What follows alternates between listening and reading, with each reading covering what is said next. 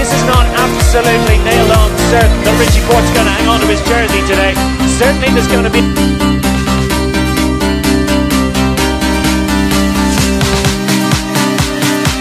Seventh stage of Curtis Week, There Quintana will stop the